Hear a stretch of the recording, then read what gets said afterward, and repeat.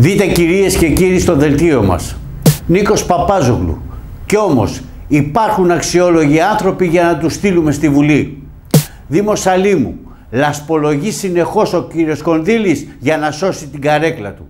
Δήμος Καλιθέας. Να αποδοθούν ποινικές ευθύνες για τον άδικο θάνατο του Λάζαρου Λασκαρίδη ζητούν οι πολίτες και δεκάδες δημοσιογράφοι. Δήμος Σαλίμου τραγικός θάνατος ηλικιωμένης στον Άλυμο γιατί δεν υπήρχε πρόσβαση για το ασθενοφόρο. Τρομακτικές οι ευθύνες του κυρίου Κονδύλη. Δήμος Μοσχάτου Ταύρου. Εικόνες θλίψης και παρακμής που προσβάλλουν και μειώνουν την αξιοπρέπεια και τον πολιτισμό κάθε γονέα, κάθε μαθητή καθώς και κάθε πολίτη αυτού του Δήμου και της χώρας. Δήμος Καλυθέας, σοβαρός τραυματισμός νηπίου, υπάρχει δημοτική αρχή. Αττική, γεμίζουν κάμερες που κόβουν κλήσεις στα φανάρια της Αττικής. Πόσες τοποθετούνται.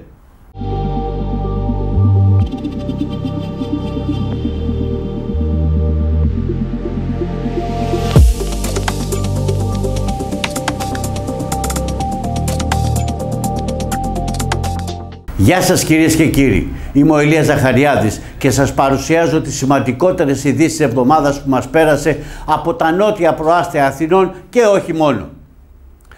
Ξεκινάμε με το πλέον σημαντικό θέμα του δελτίου μας, όπως εμείς το έχουμε χαρακτηρίσει. Αγαπητές φίλες και φίλοι, γνωριζόμαστε πλέον κάμποσο καιρό.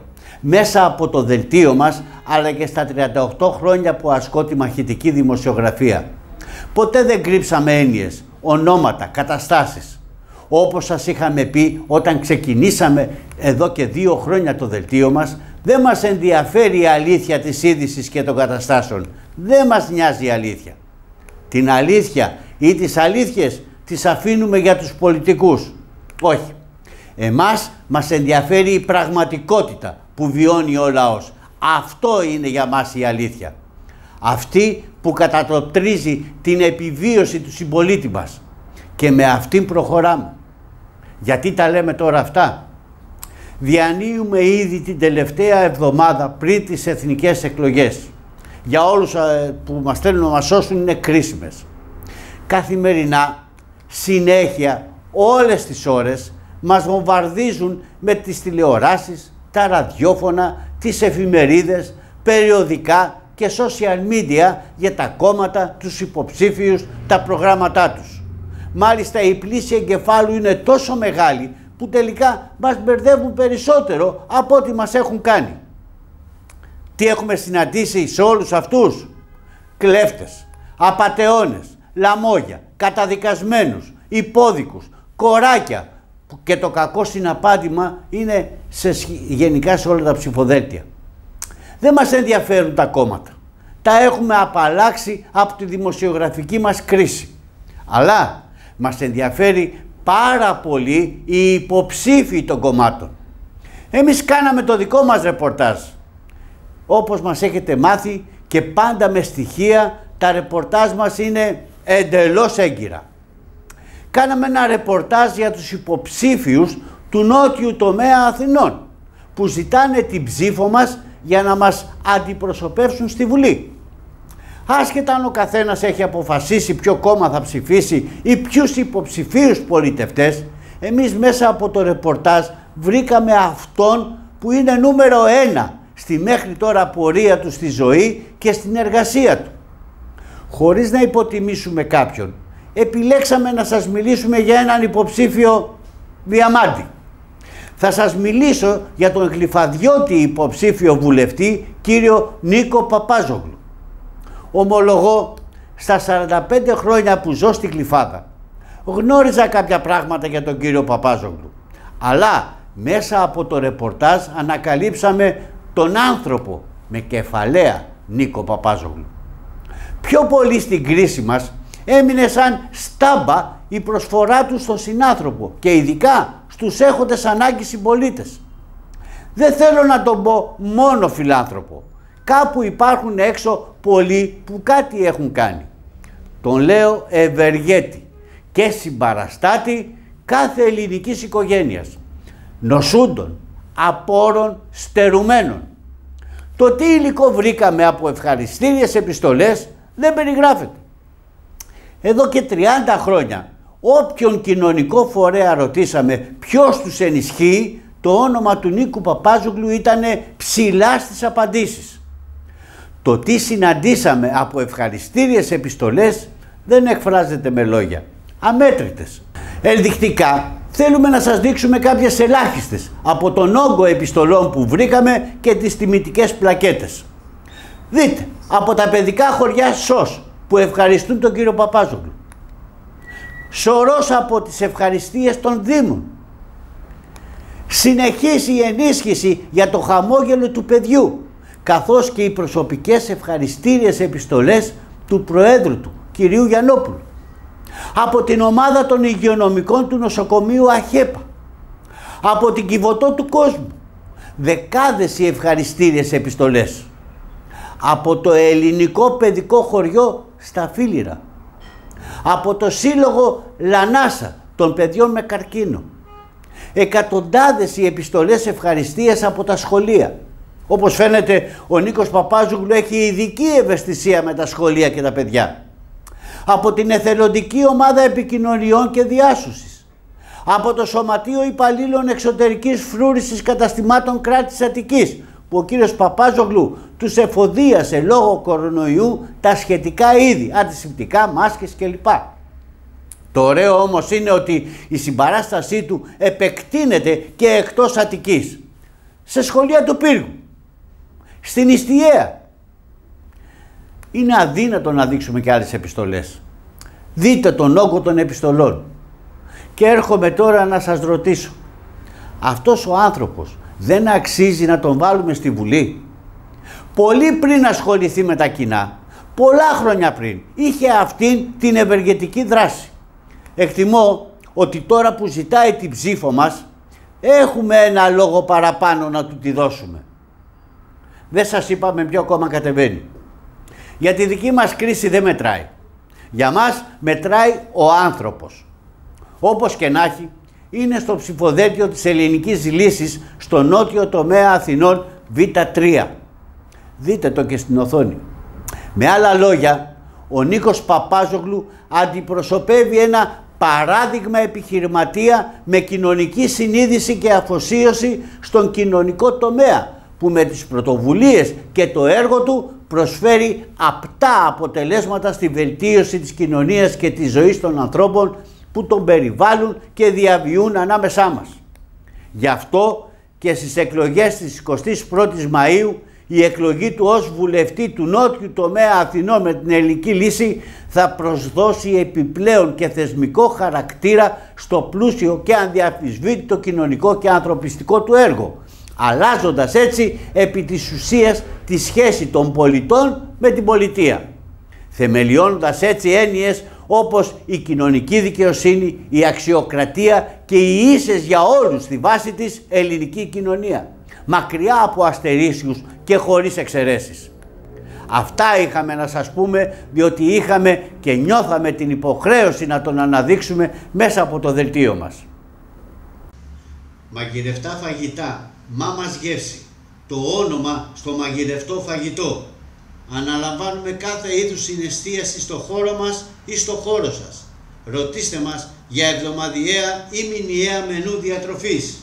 Μάμας γεύση, Λευκοσίας 29, πλατεία Καραϊσκάκη, Τεψιθέα Εκλειφάδας. Μάμας γεύση. Πάμε στα δημοτικά. Καθημερινό φαινόμενο πλέον έχει εξελιχθεί ο τρομοκρατημένος μη χάσει την εξουσία δήμαρχος Αλήμου κύριος Κονδύλης. Και φυσικά δεν μιλάμε μόνο για την καρέκλα που θα χάσει τις εκλογές, μιλάμε ότι τα δικαστήρια της Ευελπίδων θα είναι το καθημερινό του στέκι. Είναι τόσα πολλά τα θέματα που διαχειρίστηκε και άπτονται του ποινικού κώδικα που θα είναι εκτιμούμε τακτικός θαμώνας. Γι' αυτό άλλωστε συμπεριφέρεται έτσι, σαν παιδί που του πήρανε το γλυφιτζούρι. Εκτιμώ ότι όταν χάσει την καρέκλα του Δημάρχου θα βγουν στην επιφάνεια πολλά θέματα που θα ενδιαφέρουν τον εισαγγελέα. Πάμε στο τώρα και στον πανικό που τον έχει πιάσει. Μετά τις αθρώες ανεξαρτοποιήσεις τεσσάρων μέχρι στιγμής δημοτικών του συμβούλων και μάλιστα πρωτοκλασσάτων να τον αδειάζουν και να τον χαρακτηρίζουν για μη χρηστή διοίκηση, ανάρμοστε συμπεριφορά, ιδιωτελείς σκοπούς και πληθώρα άλλων σκαδάλων, ο κύριος Κονδύλης μην αντέχοντας τον κατήφορο άρχισε πάλι το παιχνίδι της λασπολογίας προς άλλους για να κρύψει τα δικά του αμαρτήματα της διοίκησής του. Αφού όποιος φεύγει τον καταγγέλει για ό,τι ανήθικο υπάρχει σε ερετό που ασκεί διοίκηση. Ο κύριος Κονδύλης αποφάσισε να παίξει επίθεση με αοριστολογίες, γενικολογίες, άχρωμα και άγευστα. Τι ανακοίνωσε; Ακούστε τι είπε μεταξύ άλλων, το ζουμί δηλαδή συγκεκριμένα πρόσωπα και συμφέροντα της παραλίας καθώς και άνθρωποι που άμεσα σχετίζονται μαζί τους τηλεφωνούν σε δημοτικούς της βούλους, κυρίως της Δημοτικής Αρχής, ζητάνε επίμονα συναντήσεις και συνεργασία, υπόσχονται γνωριμίες με επιχειρηματίες, επαγγελματικές συμβάσεις, συναλλαγές και ωφελήματα με ουσιαστικό στόχο την εξαγορά της παρουσίας τους στο Δημοτικό Συμβούλιο και της πολιτικής τους στάσης. Έτσι, αόριστα και γενικόλογα. Λασπολογεί τους επιχειρηματίες του αλήμου συλλήφθην, βάζοντας βέβαια και τη λέξη συγκεκριμένα πρόσωπα. Άντε ψάξε να βρεις δηλαδή ποιους εννοεί. Το ίδιο κάνει και με τους επιχειρηματίες της παραλίας. Άντε πάλι να ψάξεις να βρεις ποιους εννοεί. Εκτοξεύοντας λάσπη ότι δωροδοθήκανε οι δημοτικοί του σύμβουλοι και του φύγανε. Τα πήραν δηλαδή και αυτός απλά τους καταγγέλει άρχισε να λειτουργεί το δημαρχιακό σοου στα social media. Μάλιστα βάζει και ένα πουγί με 30 αργύρια να τους παρομοιάζει ως Ιούδες και τον εαυτό του ως Χριστό. Να κλάψουμε ή να γελάσουμε με την κατάντια του και το πολιτικό του χάλι.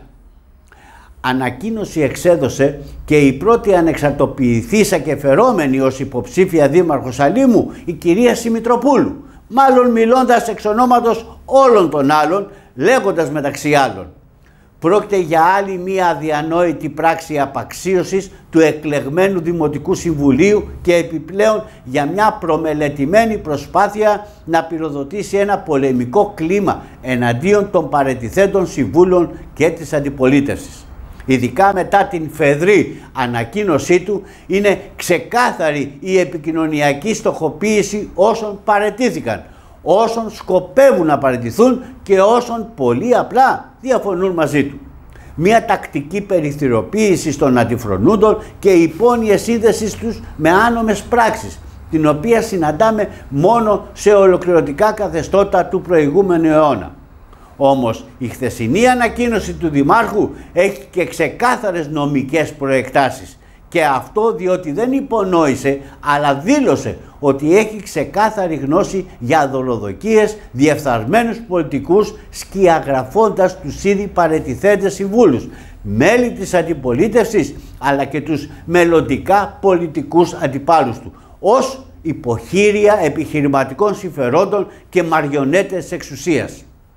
Πράξεις για τις οποίες εφόσον έχει γνώση και στοιχεία όφιλε να αποστείλει στον εισαγγελέα ή να προβεί σε μηνύσεις, όχι σε αναρτήσεις λάσπης στα social media. Αναρτήσεις όμως που συνιστούν ξεκάθαρα προσβολή της προσωπικότητας και συκοφαντική δυσφήμιση.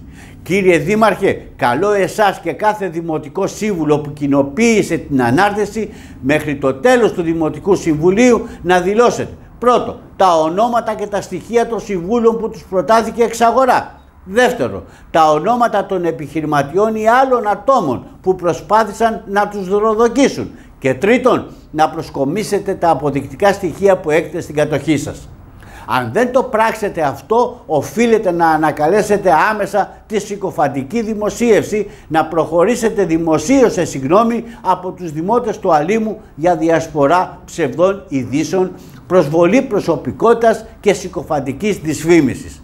Προσωπικά λυπάμαι για τους δημοτικούς συμβούλους που ενώ ξέρουν και διαφωνούν με αυτές τις πρακτικές υποχρεώνονται σε αφωνία και σιωπή σε αντίθεση με αυτούς που μας κουνάνε το δάχτυλο ενώ είναι υπεύθυνοι για την οσυρή κατάσταση της διοίκησης. Λυπάμαι που δώσαμε εμπιστοσύνη σε έναν άνθρωπο που τελικά δεν το άξιζε γιατί αποδεικνύει κάθε ημέρα ότι είναι η επιτομή της τοξικότητας και της λάσπης. Και καταλήγει η κυρία Σιμητροπούλου. Απέναντι στην οπισθοδρόμηση, τις απειλές και την χιδεότητά σας θα απαντάμε με όραμα, ελπίδα και αλήθειες για, τον, για τον τόπο μας. Θα λέμε πάντα άλυμος για όλους, όχι για λίγους και εκλεκτούς. Εμείς πάντως θα περιμένουμε και άλλα φάουλ του κυρίου Κονδύλη, όσον ούπο.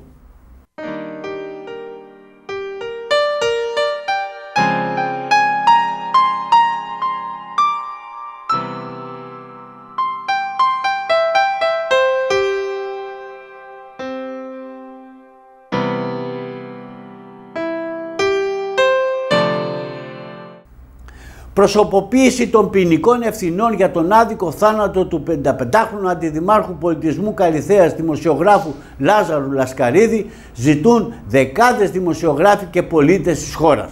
Ο Λάζαρος Λασκαρίδης εχθές το μεσημέρι σε ιδιαίτερα φορτισμένη ατμόσφαιρα για τον άδικο θάνατό του οδηγήθηκε στην τελευταία του κατοικία στο νεκροταφείο Καλυθέας ανάμεσα σε εκατοντάδες φίλους και συναδέλφους του χαρακτηριστικός των προθέσεων του άμεσου φιλικού και επαγγελματικού περιβάλλοντος του Λάζαρου Λασκαρίδη να αποδοθούν οι ποινικές ευθύνες κατά παντός υπευθύνου για τον άδικο θάνατο του Λασκαρίδη είναι ο επικίδιος λόγος της δημοσιογράφου Βίκης Λιόντου.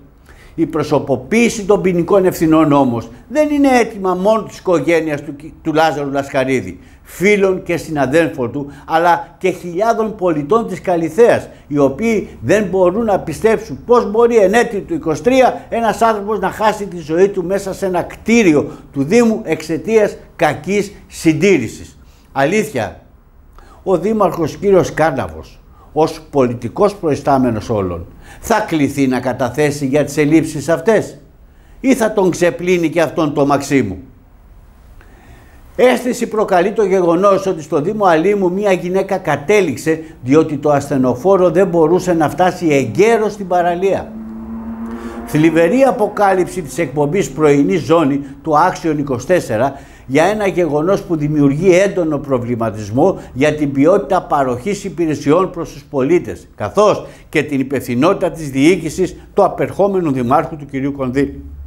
Σύμφωνα με το ρεπορτάζ της εκπομπής, μια ηλικιωμένη γυναίκα που έκανε το μπάνιο της στην παραλία του Αλήμου αισθάνθηκε δυσφορία.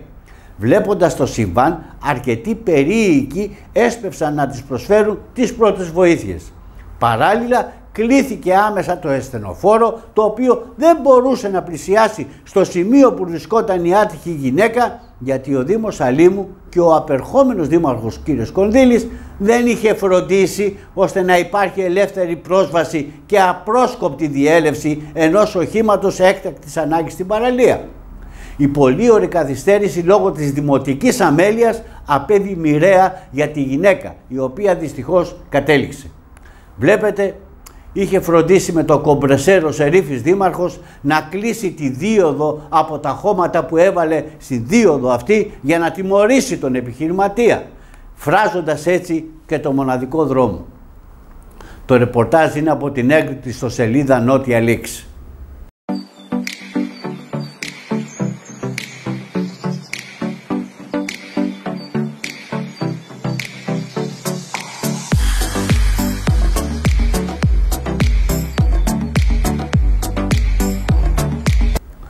Εικόνες ντροπής και θλίψης στο 5ο Δημοτικό Σχολείο Ταύρου ποιότητα και στοιχειώδης ασφάλεια απουσιάζουν παντελώς.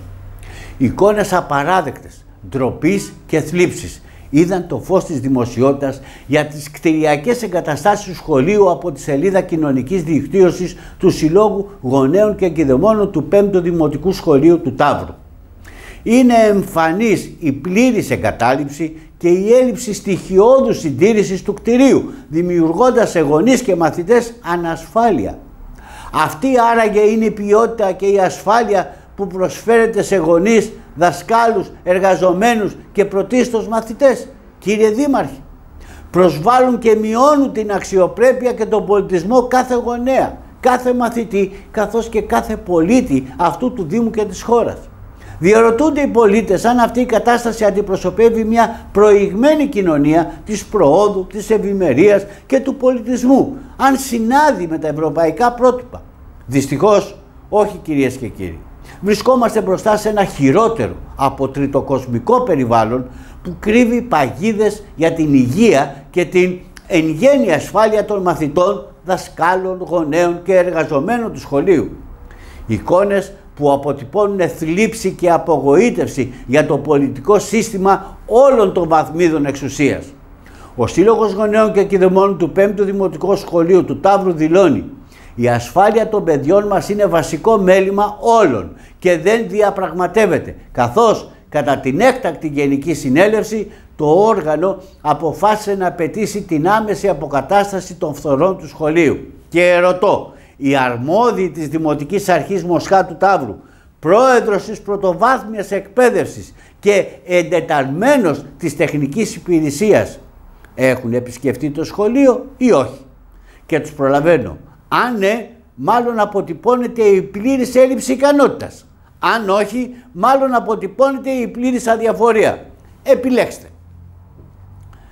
Η απώλεια του αντιδημάρχου Λάζαρου Λασκαρίδη που προαναφέραμε από υποχώρηση του προστατευτικού κυλιδώματος στη Δημοτική Βιβλιοθήκη ήρθε να αναδείξει με τον πλέον τραγικό τρόπο τα προβλήματα ασφάλειας των δημοτικών κτηρίων.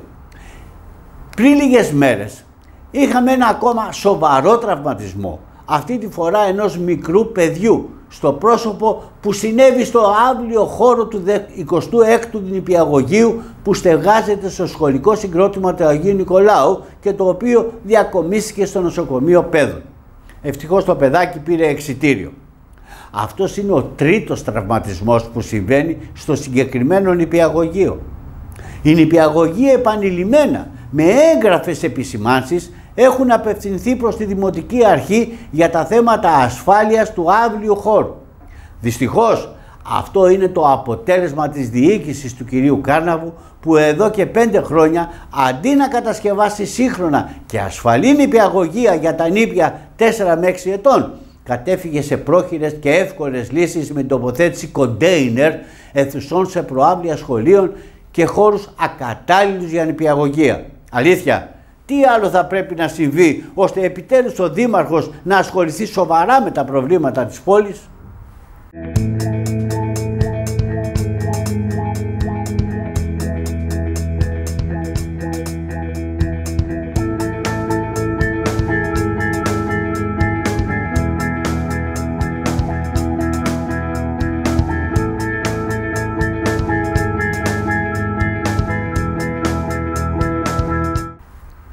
Εκατοντάδες κάμερες θα τοποθετηθούν στο δίκτυο φωτεινής σηματοδότησης της Αττικής με στόχο να καταπολεμηθεί ένα ιδιαίτερα επικίνδυνο φαινόμενο. Ψηφιακά μάτια στα φανάρια επιθυμεί να τοποθετήσει η περιφέρεια Αττικής ώστε να δοθεί επιτέλους τέλος στην ιδιαίτερα επικίνδυνη οδηγική συμπεριφορά της παραβίασης του κόκκινου σηματοδότη η οποία συνιστά μία από τις βασικές αιτίες πρόκλησης τροχαίων ατυχημάτων. Όσοι αδιαφορούν για τις ενδείξεις των φαναριών και τους σοβαρούς κινδύνους που εγκυμονεί αυτή η κατάπτυστη πρακτική θα φωτογραφίζονται από κάμερες που θα κατακλείσουν την Αττική. Ειδικότερα, η Περιφέρεια προχώρησε στην προκήρυξη διαγωνισμού για την προμήθεια και εγκατάσταση 388 καμερών παρακολούθησης παραβίασης του κόκκινου σηματοδότη όπως και 351 γαλβανισμένους ιστούς με βραχίωνα με τον κλωβό αγκύλωσης για τοποθέτηση των καμερών. Σημειώνεται ότι ο ανάδοχος του έργου συνολικής αξίας 14,5 περίπου εκατομμυρίων ευρώ θα είναι επίσης υπεύθυνος επίσης και για την εκπόνηση, εφαρμογή και λειτουργία λογισμικού διαχείρισης των παραβάσεων. Η συγκεκριμένη λύση θα αυτοματοποιήσει την έκδοση στοιχείων οδικών παραβάσεων και θα συντελέσει στη μείωση των τροχαίων ατυχημάτων λόγω παραβίασης του ερυθρού σηματοδότη. Όπως αναφέρεται στο αντικείμενο του διαγωνισμού, η τοποθέτηση των καμερών θα γίνει σε συγκεκριμένα σημεία που θα καθοριστούν με βάση τα δελτία οδικών τροχαίων ατυχημάτων. Δηλαδή σε σημεία όπου συμβαίνουν συχνά σοβαρά ατυχήματα και αποτελούν συνέπεια παραβιάσεων του κόκκινου. Καταληκτική ημερομηνία υποβολής των προσφορών είναι η 5 Ιουνίου και ώρα 3. Η αποσφράγιση του διαγωνισμού θα πραγματοποιηθεί στις 9 Ιουνίου και ώρα 4 από την αρμόδια επιτροπή του διαγωνισμού. Σημειώνεται ότι διαγωνισμός για την προμήθεια 388 καμερών παρακολούθησης παραβίας του ερυθρού σηματοδότη είχε προκυρηθεί από την περιφέρεια Αττικής και πριν από λίγους μήνες, χωρίς όμως να τελεσφορήσει. Τα αποτελέσματα ωστόσο από την τοποθέτηση καμερών στα φανάρια είναι άκρος ικανοποιητικά όπως αποδείχθηκε από την υιοθέτηση συγκεκριμένης λύσης λεωφόρο Ποσειδώνος. Πριν την τοποθέτηση των συσκευών, στο σημείο οι παραβιάσεις ερυθρού σηματοδότη υπερεύαιναν τις 800 σε καθημερινή βάση και σημειώθηκαν μόνο 250 με 300.